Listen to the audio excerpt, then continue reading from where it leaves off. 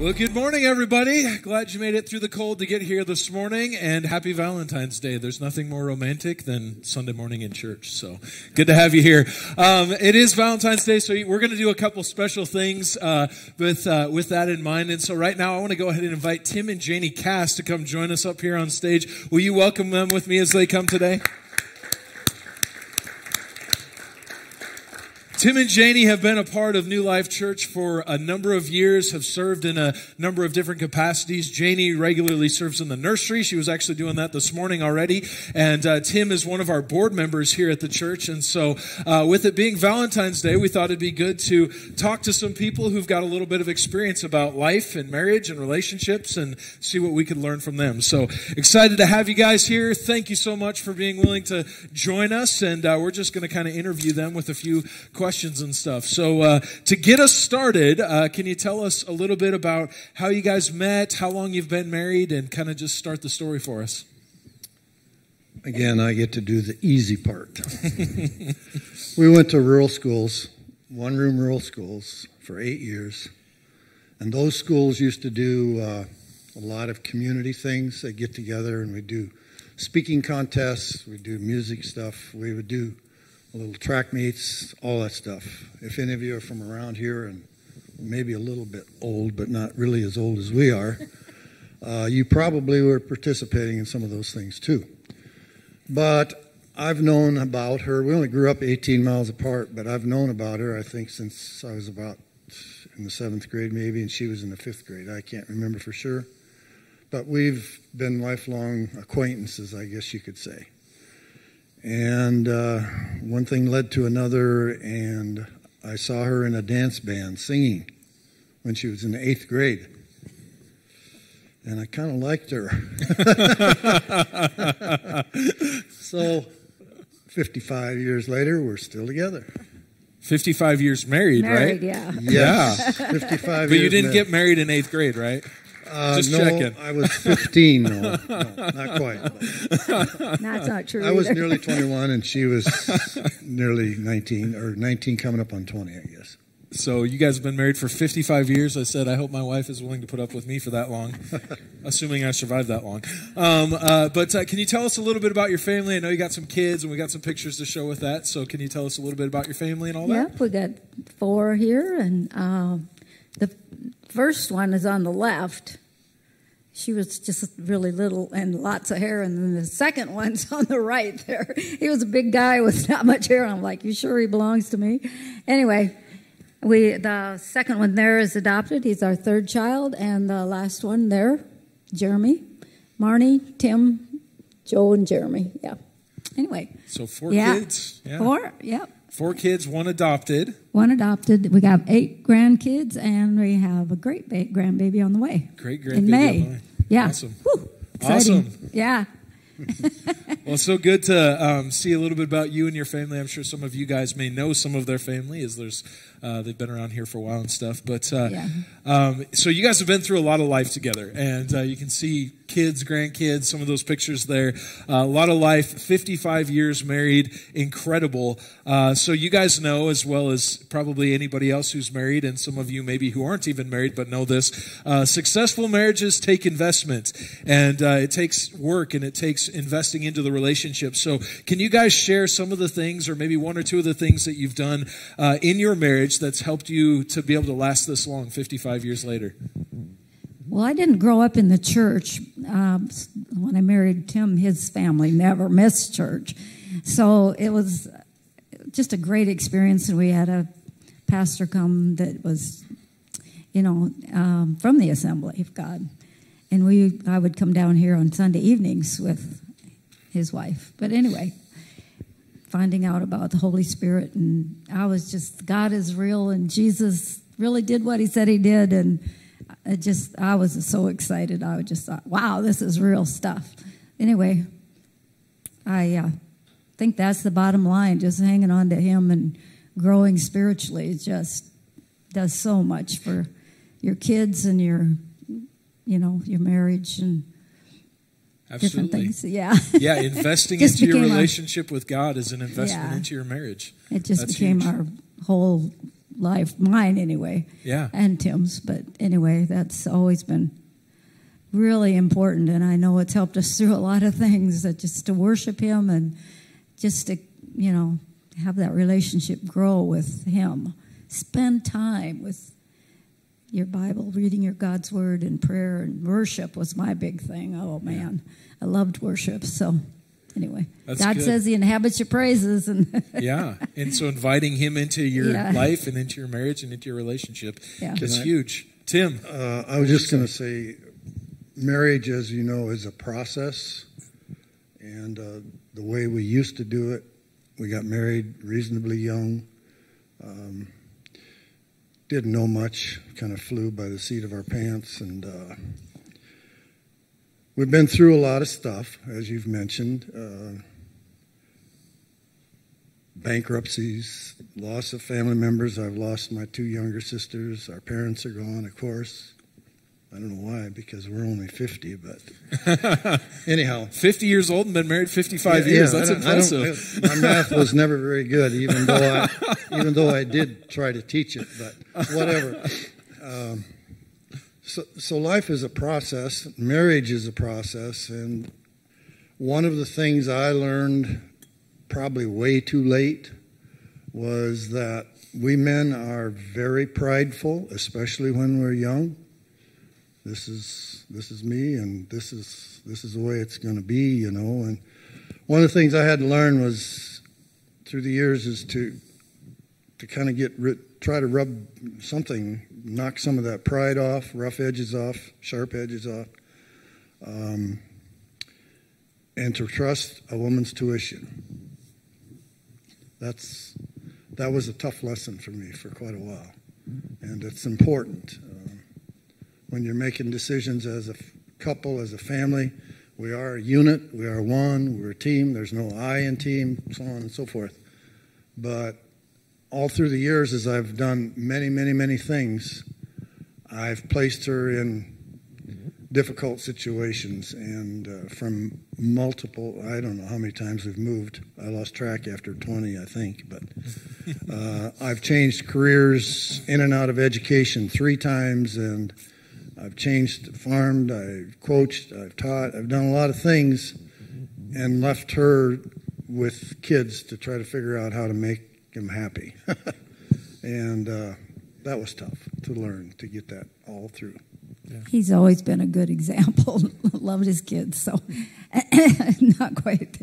Anyway, we were every situation is so different, but Yeah. that's why it's so important to make Jesus Christ uh, uh, something that you hang on to and something that get you know as you worship Him, He it brings you through so many things. Oh my, you just I just say keep your eyes on Him. Yeah. because difficult things are going to happen, and and uh, so anyway, he has done so many awesome things in our life. I've, you know, we just have so many stories. Everybody does, and every situation is different. And we grew up on the farm and very supportive families and parents, and you know, it, every situation is different. But the bottom line is keep your eyes on the Lord. And I'm just, that was so exciting to me to find out He's real and He cares, and nothing's going to change that. Yeah. So, That's huge. And when you keep God as a foundation in your relationship, you can face a lot of those challenges in ways that uh, would be a lot more difficult to try to do without that. Uh, so I know you guys have kind of already talked about this, but uh, my next question is um, How have you seen God at work in or through your marriage? And uh, like I said, I know you've already talked about that, but just anything you'd add there for how you've seen God uh, at work in your relationship and throughout your lives. Well, as I've alluded to some things that have happened,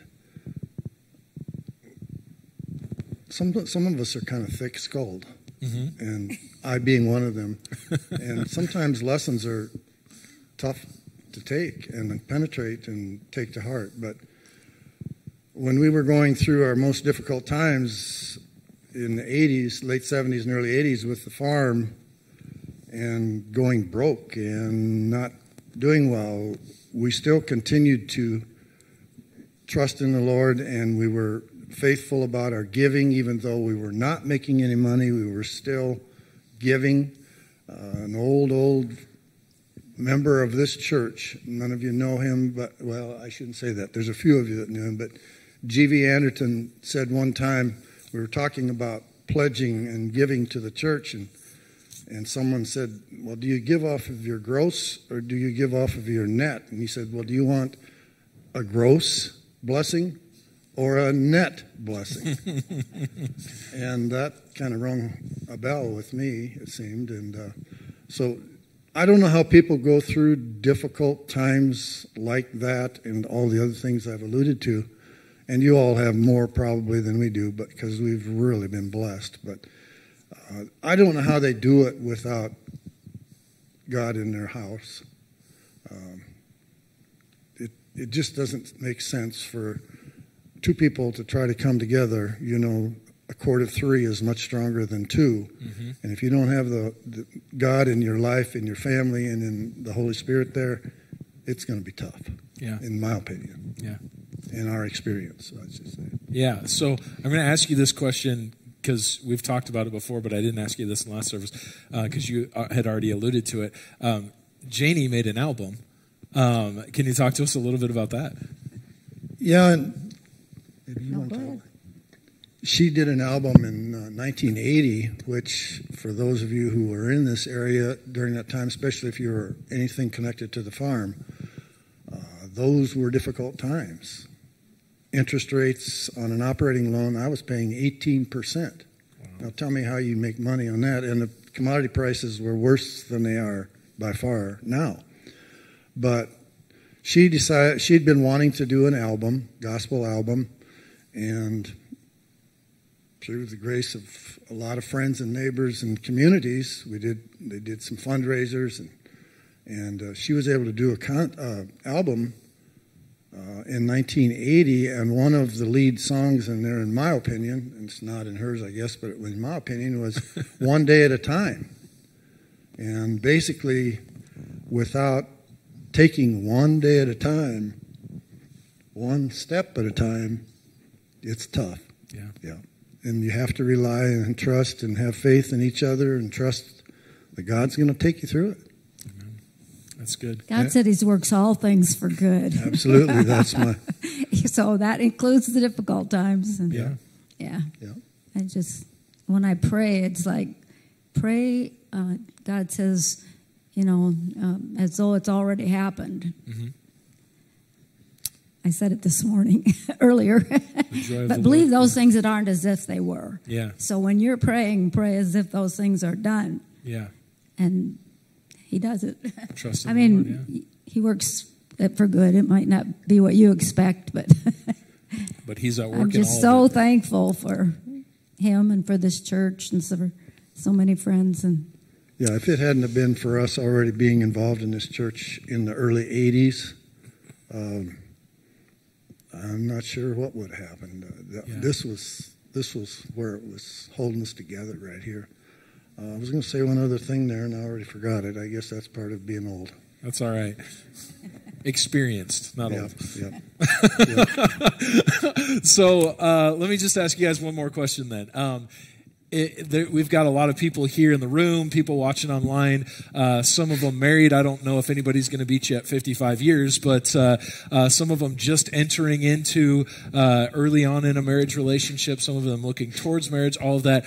What's one or two pieces of advice you would give uh, to us who are younger than you and and uh, who have some things to learn about marriage, about relationships, about life? What's one or two pieces of pieces of advice you'd give to us? Go with the flow. I don't know. I'm one of those people who just, you know, when things happen, you just get through it by prayer and worship and and God's. I don't know. I just trust Him and uh, nothing. Just don't let anything change that. Yeah, and keep that try as to a- keep yeah, and don't try to keep anger out of your home. I always wished I had a better sense of humor. Both my brothers are really funny, and my dad. but anyway, if you can just, you know, don't don't give up. Keep going. That's good. I mentioned uh, earlier that um, in talking about we got married reasonably young, not as young as some folks, but um, we live you live in a totally different time and a totally different culture than what we grew up in. And many of you have chosen different directions and different options than we did. But when he asked me that question about some advice, my response immediately was two words Why wait? We've had a blast. It's oh, it's not been fun all the time, but we've been able to stick it out and get through it. Yeah. With God's help. With God's help. When you find that one person, commit. Be committed and commitment is huge. Keep going. I didn't say this earlier, but I've thought often. I had a classmate, a boy, and he got married after his sophomore year in high school to a girl that was a little older than him, two years older than him. They survived 50 some years together. She passed away recently of cancer, but wow. they worked out a career. They, and I've told many people, marriages can work, but it's a project mm-hmm. and it's it takes a lot of commitment. Yeah. And even if they don't hang on to God, I mean, yeah, absolutely, it doesn't work that way for everybody. But yeah. anyway, he's never, still there. He's still faithful, and yeah, never lose your trust in Him. Absolutely, yeah. No, He's working. Well, that's so good. Well, thank you guys so much for being willing to share. Can you give them a hand? Thank you guys so much good words of wisdom and advice there. Um, hang on to God no matter what. And in the ups and downs of life, you can find Jesus working in powerful ways. Uh, Tim, why wait? If you're uh, entertaining that conversation, you know, make the commitment, and when you make the commitment and follow Jesus, He's going to work out all the details. So uh, today, before I shared, I just figured it'd be better for them to share because they've got a lot more wisdom than I have to offer on anything that has to do with relationships. But since it is Valentine's Day, uh, I had every one of our staff members ask me if I was going to talk about relationships. So I said, well, I guess I'm probably better then. Uh, so if you have your Bibles, you can turn with me to Genesis chapter 2 and starting in verse 18. And uh, to get us started today to get us kind of headed in the right direction as we talk about relationships and it's Valentine's Day and all this kind of stuff. I want to share with you just a perspective that I think is so important for us. And it might sound a little old fashioned, it might sound a little out of touch or a little impractical in some ways, but I think it's so foundational if we want to experience the life that God has for us in our lives as individuals, but especially in our lives as in relationships. And so here's here's that perspective I want to start with. It's this that the Bible gives us the best foundation for how to have a healthy relationship. The Bible's words, what the Bible teaches, what the, the principles that we can find in Scripture are the best things that we can adopt into our lives if we want to have healthy relationships. The reality is, we live in a world where all kinds of people are talking about relationships. You know, people, people are talking about marriage, or they're talking about finding that special someone, or they're talking about their friends or their family members, or they're talking about relationships all the time. Relationships aren't a uniquely Christian thing.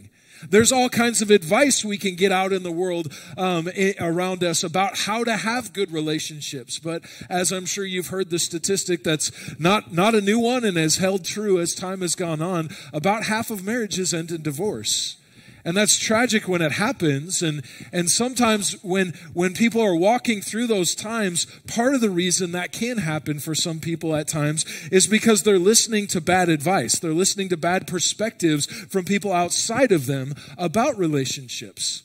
But i think if we come back to this reality the bible is the best foundation when we follow God's way and we listen to what God's word says, and when, when everybody who's involved in the relationship, both husband and wife, or your friends or your family members, when everybody's following God's way, relationships are going to be the best that they can be. And so as we turn to Genesis chapter 2:18, we get into what God's perspective is on relationships. We're going to talk about it by looking at the very first relationship that there ever was, and that's Genesis chapter 2:18. It says this to start us off. It says, "Then the Lord God said, it is not good that the man should be alone." Now, up to this point in the book of Genesis, God has created the heavens and the earth. He's created the stars and the sun and the moon, and He's created land, and He's created the fish of the sea and the birds of the air, and all the livestock and the animals around the ground, and all of this stuff. He's created Adam, and everything up to this point that God has created, when He's created, He's, He said, It's good. He saw what He created, and He called it good. This is the first time in, this, in all of Scripture, this is the first time we see that God calls something not good. In Genesis chapter 2, he sees something that he says, that's not good. And what was it? It's that Adam was alone. He was isolated. He was by himself. Now, as we continue on in verse 19 and 20, it says, Now out of the ground the Lord God had formed every beast of the field and every bird of the heavens and brought them to the man to see what he would call them. And whatever the man called every living creature, that was its name. The man gave names to all the livestock, to the birds of the, the heavens, and to every beast of the field. But for Adam, there was not found a helper fit for him. So God notices it's not good that he's by himself. Adam notices this as well as they're starting uh, into his first job, which is naming all the animals. As he's doing this job, Adam's starting to notice something. Every animal that he's naming has a counterpart, has a partner, has, has something corresponding to it that they're, that they're existing together. And Adam is looking at all the animals that he's naming and he's recognizing there's something wrong because he doesn't have the same thing that they have a, a, corresponding partner, a counterpart to him. And so Adam recognizes this isn't good. God recognizes this isn't good. And to start us off talking about relationships this morning, I just want to I just want to say something that I think is is kind of obvious as we look at these first verses, but it's important that we don't just pass over. And that's this that we were not created to live life alone. We were not created to live life by ourselves. You could talk to counselors and psychologists and people. They would say this too. They would say if you want to be as emotionally and mentally healthy as possible, you need to have relationships, connections with other people. Now, by the way, this applies whether you're single or married. This isn't just something that's saying, well, it's, it's not good for, a, for, for somebody to be alone, and so everybody should get married. I know not everybody is going to get married, but whether or not you're married, it's not good for you to live your life by yourself. We were not created by God to live our lives isolated, separated by ourselves without inviting others into our lives. Even God Himself exists in relationship as an eternal Trinity Father, Son, and Holy Spirit. God created us to live in connection, to live in relationship with others. Now, sometimes the natural pull of life gets us busy and gets us running a hundred different directions, and it can be easy to separate ourselves from relationships. But can I tell you this morning, whether you're single or whether you're married, it's not good for you to try to do life by yourself. God calls us into relationship, into community, into connections with others. Now, if you're, if you're married, that primary relationship that you have on this earth is your spouse and, and you should work at cultivating that relationship and, and growing that relationship and making sure that you're, you're there for one another as you go throughout life, as Tim and Janie shared with us uh, in some powerful ways through the challenges that they went through. But even if you're single and you're not married, can I tell you this morning, that means that you just need to be even more intentional about finding those relationships in your life whether it's family members, meaningful friendships, whether it's people at church, people you serve with, whatever it is, you need to be very intentional about finding the right kind of people that you're cultivating relationships with. Because whether or not you're married, it's not good for you to exist and try to live life by yourself. God created us to live in connection and relationship in community with others. And when we don't, we miss out on some of the most powerful ways that God would want to shape us. I can tell you this morning that, that some of the times in my life when I can think back to the moments where I've experienced the love of God so powerfully has come through the vessel of another person. God will use other people in your life to do things in your life, to work in your life, to pour out His love into your life. It's not good that we live life by ourselves. So, whether you're single or you're married, you need to be intentional about cultivating relationships. If you're married, you need to make sure you're intentional about that relationship with your spouse. Now, Continuing on in the second part of verse 18, uh, it starts off, it says, Then the Lord God said, It's not good that man should be alone. And then he says, Here's what I'm going to do about it. He says, I will make a helper fit for him. That word helper is really important. And then you go on down to verse 21, it says, So the Lord God caused a deep sleep to fall upon the man, and while he slept, he took one of his ribs and closed up its place with flesh. And the rib that the Lord God had taken from the man, he made into a woman and brought him and brought her to the man. And the man said, This at last is bone of my bones and flesh of my flesh. She shall be called woman because she was taken out of man. So Adam has this experience. He's naming the animals. He's recognizing they all have a partner. They all have a counterpart and I don't.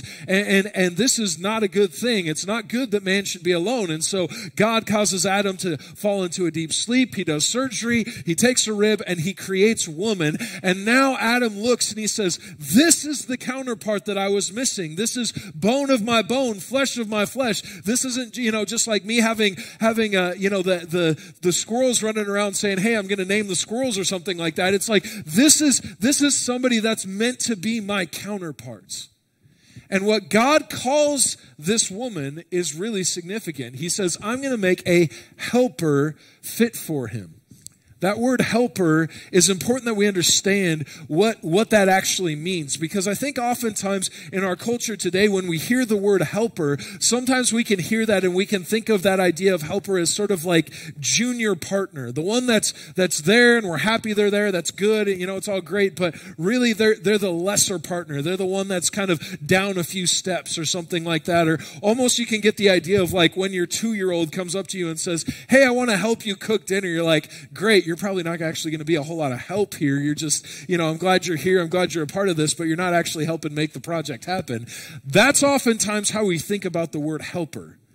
But this word helper is a Hebrew word called, and it's Ezer is the word. And the word, he, the, the word that's used here is used multiple times throughout the Old Testament. And this word, about 60% of the times it's used, is used of God, in that God is the helper of Israel. It's the idea that, that, that God is the one who came to the aid of Israel and gave Israel what they couldn't get by themselves. So when we look at Genesis chapter 2, and God says, I'm going to make a helper fit for this man, and, and, and Adam looks at her and he sees this helper fit for him, the woman wasn't the junior partner. She wasn't the lesser one. She wasn't the one that was lower on the totem pole. She was meant to be a partner to him. She was meant to be this one who was going to come into his life and give him something that he couldn't get if he tried to live by himself. So, as we're talking specifically about marriage, here's, here's how I think that applies marriage is about partnership, not competition. Marriage is about partnership. As husband and wife, this Adam and his helper, this wasn't Adam up here and Eve down here somewhere. It was Eve coming into the picture to be the helper for Adam, to be the partner, to be the one who was going to come alongside him and help him to experience life the way that God intended for him to. And the same thing should be true of us in our marriages as Christians. We should seek to have the kind of relationship where uh, our spouse, whether husband or wife, if you're, if you're a husband, then your wife, if you're a wife, then your husband, should be the one that's coming alongside you as your partner. You're not in competition with one another. You're not trying to see who can get on top, who can win, who can whatever. I mean, you can play games or whatever and be competitive if you want to. I'm a very non competitive person, so that's not really compelling to me most of the time.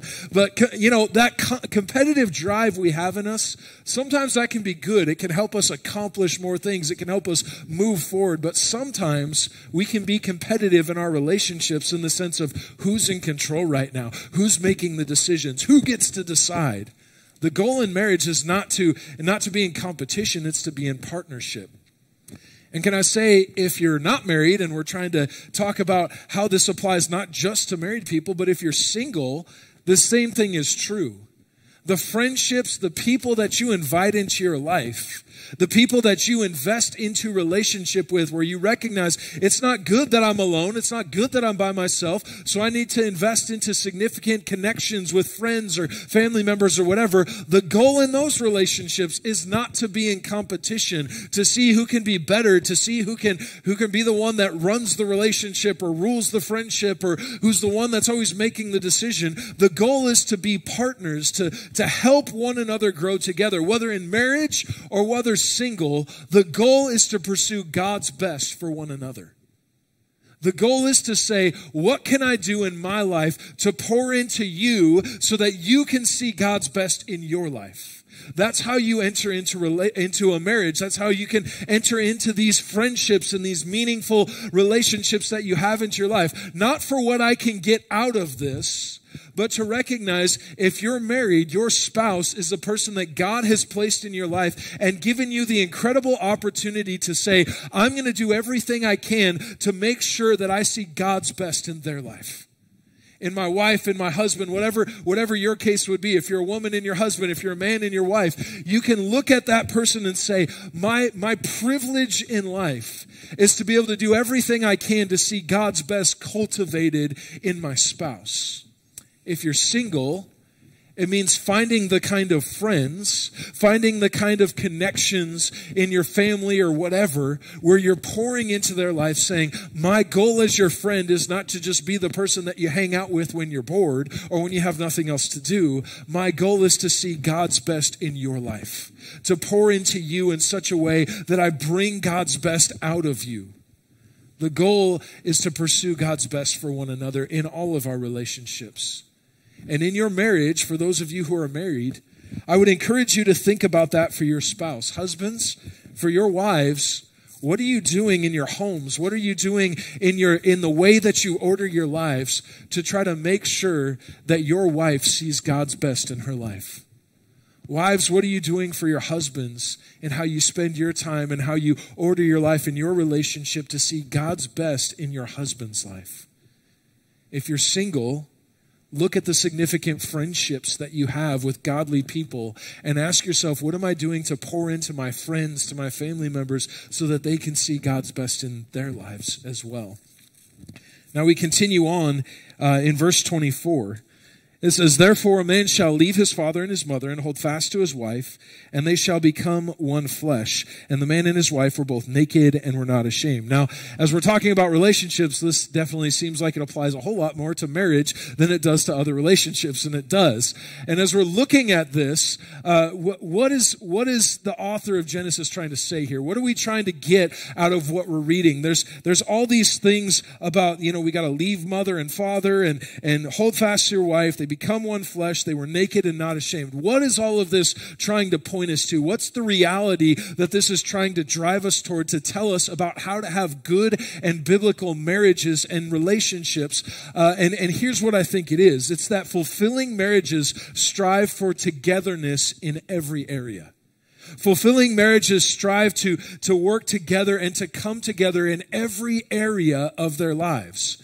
That's not to say that you and your spouse, if you're married, aren't going to have your own uniquenesses and your differences in your personality or your different preferences about certain things. But as you look at your life and as you try to pursue Jesus together and as you try to live for God as individuals and as a couple, the question is, are you doing what you can to come together and to pursue Him together in every area of your life? This is why it says here that the man's going to leave his father and mother. In other words, when you get married and you make a commitment in marriage, you say those vows, the commitment is this that relationship becomes the primary relationship from this point on. My primary commitment, my primary relationship, the number one person on this earth that I should be invested into is not my parents, not that I don't love them, and not that I don't want to see God's best in their life, but it's my spouse. That's why God brings us together is as married couples. And so they leave father and mother, says they should hold, he should hold fast to his wife. They should, they should be drawn together. And it says they should become one flesh. Now, growing up in church and stuff, I would hear that. And it was always kind of talked about in the terms of sex, that that's what that was looking at of becoming one flesh. Now, it certainly applies to sex. It certainly does. And that, that's included in this, but it's so much bigger than just physical union in sex. When it's talking about becoming one flesh, it's talking about how the reality of the lives of Adam and Eve, these two different people, when they came together in this covenant of marriage, their lives became one. Two separate things came together to form a relationship, a connection, a bond, a partnership where they were together from that moment forward. Their primary allegiance was to one another. They were, they were seeking to live and strive for togetherness in every single area of their lives. That's what this is pointing to. Now, in verse 25, it says, And uh, the man and his wife were both naked and were not ashamed. So, if you're married, enjoy, have fun with that. If you're single, obviously that looks a little different. What they're talking about here, what we're looking at here, is not just, not just physical nakedness. The picture here is that there was nothing separating Adam and Eve from one another. There was nothing between them. They were together in every sense of the word. And can I tell you this morning, in your marriages, if you want to have a healthy marriage, you've got to strive to have that kind of relationship where you're not holding anything back. You're not placing anything between you and your spouse. You're seeking togetherness in every single way. But then let me go back to what I've been trying to bring things back around to as well. Maybe you're not married. Maybe you're single. Maybe for whatever reason you don't have a spouse. Can I tell you, it's still important that you in your life find people where you can pursue Jesus together. Friends who are going to come along the journey with you. People who are going to encourage you and push you to pursue Jesus more and to find people where you're walking together and following Jesus together where you're trying to pursue togetherness and saying how can how can we help move one another forward? And this picture of this being naked and not ashamed obviously that's not going to be sex if you're not married because the bible is clear that that marriage is the context in which sex should happen. Outside of that it's destructive and it can bring a lot of pain and hardship. But if you're single here's what i think you can draw from that. There's this reality that in your life as a single person you need to find people that you can be completely transparent with. You need to find people in your life that, that you're not holding anything back from them. People who know you well enough that, that, that are good and godly people, that are people who want God's best for your life, so you can be completely open and transparent with those people. If you're single, you need to find some good friends. You need to find some friends who are going to come around you and encourage you and challenge you to find Jesus and pursue his best for your life. And you're not going to be able to fully receive what they have for you. You're, they're not, you're not going to be able to fully respond to how they would encourage you to move forward if you hide part of who you are from them. As people, we need relationships. As people, we need connections. It's not good for us to be by ourselves. So God creates community. In Genesis 2, with Adam and Eve, we see this in the context of marriage, and they come together and they become husband and wife. If you're married, you need to not have anything between you and your spouse because God wants to use that relationship to help you grow and to help you move forward, to help you pursue God's best for your life. But if you're single, you still need to find friends that you can be open, that you can be transparent, that you can talk about what's really going on with your life in your life. Because if you don't find those people, you're missing out on that, that reality that God was looking at when He says it's not good that man should be alone. You're still trying to live, yourself, live your life alone in some sense. The Bible uh, talks a lot about marriage in a lot of different ways, and we could, we could go to a lot of different areas. But what I think as we as we look at this through this paradigm of the bible is the best foundation for healthy relationships whether you're married or whether you're single here's the challenge that i would want to give you today on valentine's day for those of you who are married maybe you got plans for how to celebrate if you haven't already or for those of you who are single and maybe are frustrated or annoyed that it's valentine's day. Can i give you this challenge? Here's the challenge to sacrificially invest into pursuing your partner's best sacrificially invest into pursuing your partner's best.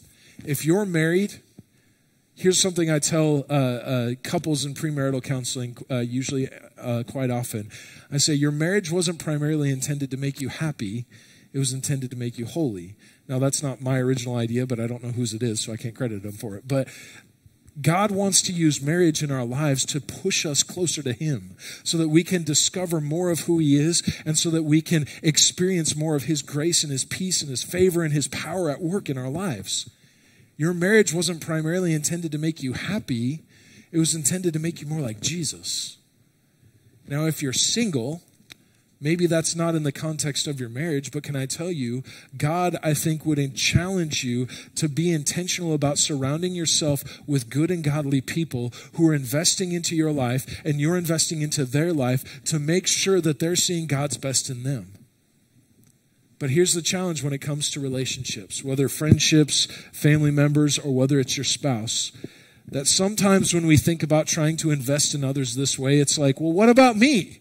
What about my needs? What about what about me connecting with people? What about what about me getting what I need from this relationship? And that's a very natural, normal human way for us to think about things. Here's here's a perspective I think that's helpful to take from this.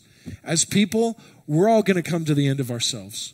We're all going to come to the point where we don't have anything left to give. We're all going to come to the point where, where we say, you know, I, I wish I could do more, but I, I just can't, I just, I just can't do any more. I've come to the end of myself. And we're all going to come to points where we're needing something from somebody else, where we're needing uh, somebody to pour into our lives. If we're looking to other people to fulfill every need in us, we're going to be disappointed. We can only find that in Jesus.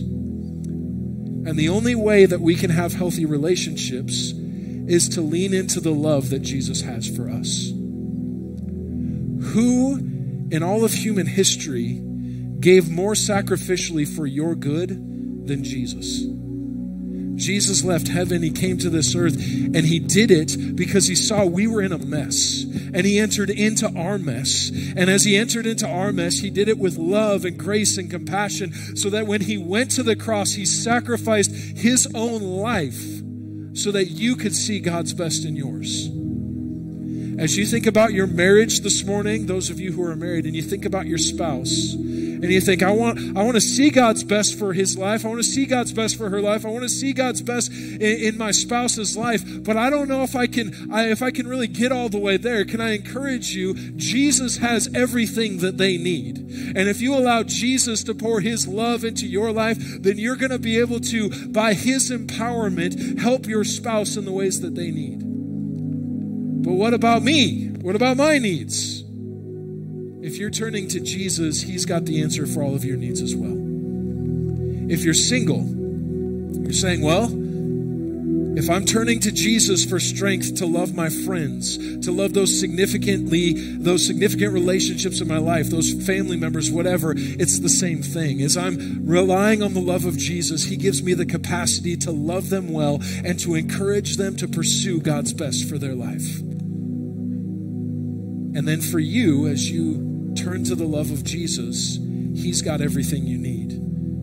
Now, in your relationships, whether it's with your spouse or with a friend or family member or other significant relationship you have in your life, imagine this. If you were giving everything you could sacrificially to serve them so that they could see God's best in their life, and they were doing the same for you, wouldn't that make your relationship better?